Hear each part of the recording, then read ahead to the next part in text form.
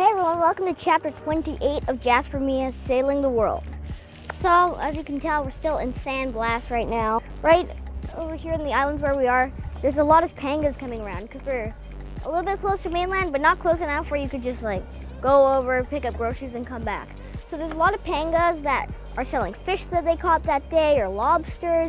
Could be selling groceries. They also sell these things called molas, which are like these hand embroidered. I don't, I don't know what to call them exactly, but they're all hand embroidered and they're really like detailed. And um, they usually make them of animals and they tell stories about what it's like, life for the Kuna people, which is really cool. And so it's almost Christmas time and we got one for mom for Christmas, which is really pretty and I hope she loves it.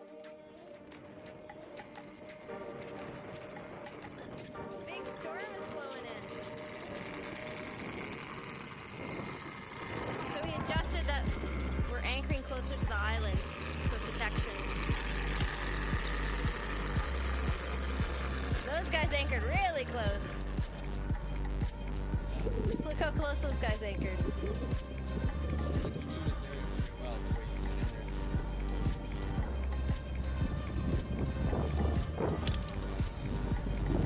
I'm hoping we can collect a lot of rain off this. Snorkeling San Blas for the most part was great, especially in the outer ring of islands called the Holandes.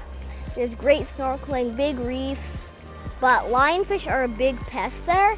So when we were there, we got um, just the sling spear gun, and Dad dove down and shot a whole, shot a whole bunch of lionfish, just because they have no natural predators. So people are actually encouraged to like kill them, and there's lionfish derbies in some places because they have no natural predators, so they kind of just take over the environment. So Dad went down and just killed a few, and um, we caught this big one that we almost ate. But we were swimming for so long, and we left on the paddleboard, so it just got all dry. So we chucked it back, something else, for, to just decompose. But in other places in the San Blas, snorkeling wasn't all that great. Um, there was a lot of sand beaches everywhere in the San Blas, as you can tell. But because it was all sand beaches, when you went snorkeling, there was mostly just sand that you saw, so you didn't see any reefs really. Mostly just covered in sand, which was too bad. But like I said, in the outer ring, it was great snorkeling, so I'd very highly recommend snorkeling there if you can. Around where we were snorkeling, where it was just st- sand, there were a lot of big spiny starfish though, which was really cool. But there wasn't a lot of anything else. So when we saw a whole bunch of spiny starfish, Jasper went down and picked a couple up just to check them out. And it was really cool because you held them out for long enough and they kind of trusted you a little bit. They'd bring their tentacles out, which was really cool to see. Jasper was studying one.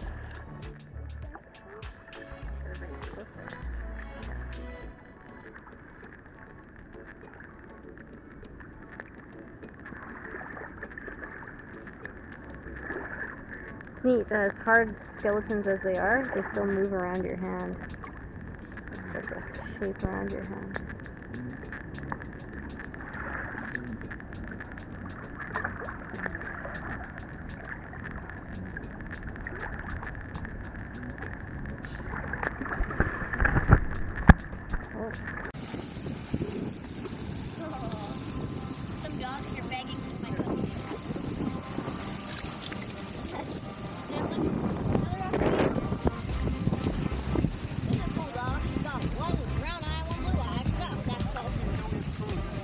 Couple days later, we made some strawberry cupcakes for the Kuna people because, well, we the Kuna people came and they wanted like I can't remember what it was, but they wanted payment so we could be at their island because it was like their home island and they needed money to survive on because they didn't really have jobs there. I mean, there was nothing there but their little huts. So we couldn't pay them because we only had the credit card. So later that day, we were making strawberry cupcakes and we thought we might just bring them over. We're going to this island and we're we made some cupcakes, so we're going to feed the locals. Cute fluffy new doggo. Plus, they probably don't have cupcakes a lot because, I mean, it'd be hard to make cupcakes out on a remote island with a hut and a fire.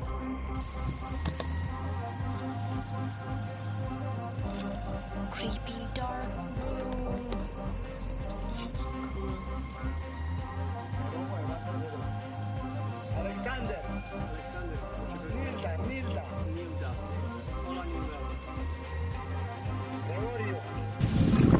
So we found out after our interaction, well, Dad found out that um, the whole island is populated by two brothers, their mom, and their friend that lives on the other side of the island.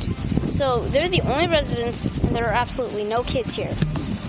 So we brought them cupcakes, and they were really happy when we brought them cupcakes. They're all smiling. And then we saw the, um, it was two brothers who were fully grown. They were like in their mid, late 20s, 30s. And then there was their mother who lived with them still, and she was wearing very traditional clothing. It was really cool to see because I remember from Guatemala, clothing was very traditional in all places. So when we went on a road trip, in all the different parts of Guatemala, we'd see that the women had a different style of traditional clothing. Like some places would have lace, others would just have certain patterns. So it's really cool to see her style of traditional clothing. She wore a lot of rings though, like a nose ring, earrings, a lot of stuff like that.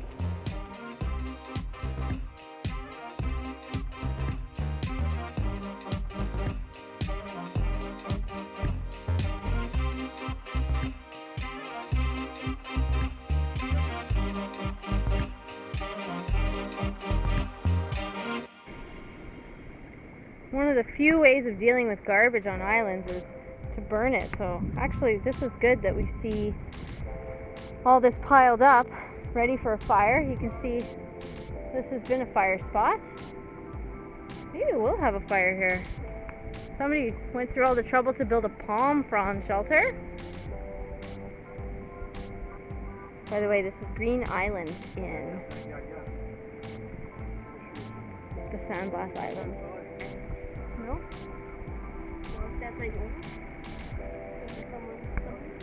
Lots of stuff. Look, a teddy bear.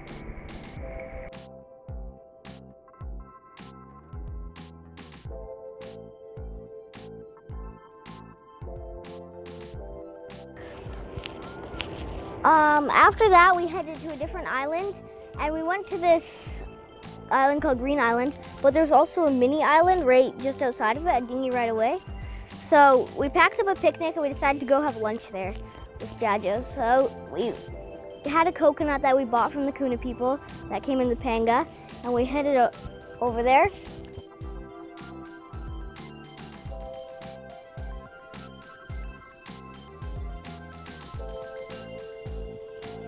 When we got there, we were surprised because there's actually a hut already on the island, but didn't look like anyone lived there. It was just a hut, and then there were some wood tables.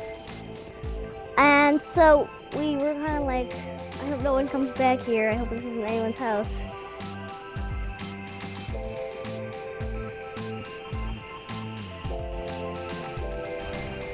This is so cool.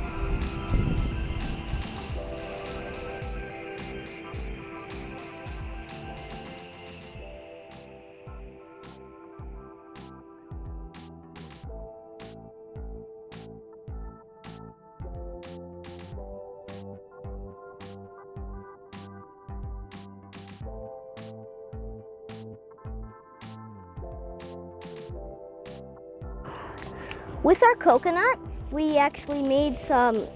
We Jasper hacked it open with our mini machete, and then we all had a sip of the coconut water. It was good. But then as soon as we all had a sip, Jad, Jajo and Dad added rum to it and made a drink out of it, which was funny. They enjoyed that drink.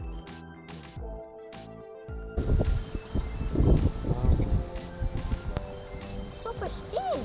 Yeah, it's a pink.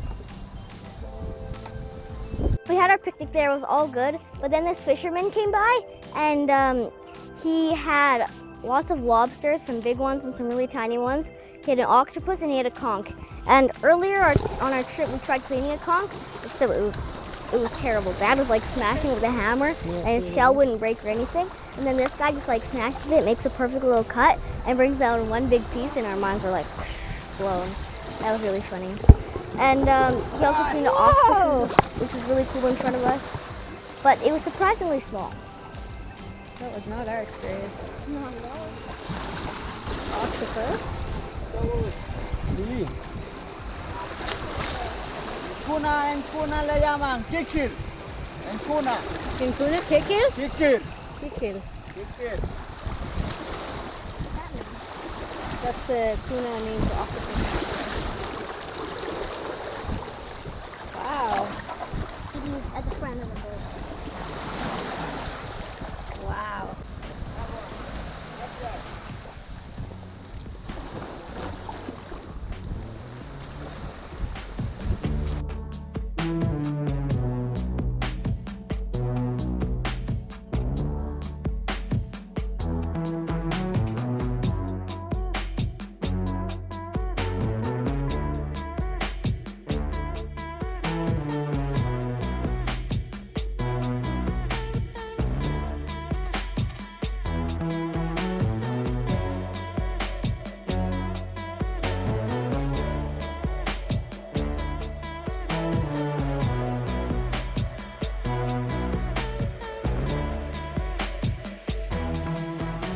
Everyone, thanks for watching this episode of Jasper and Mia Sailing the World.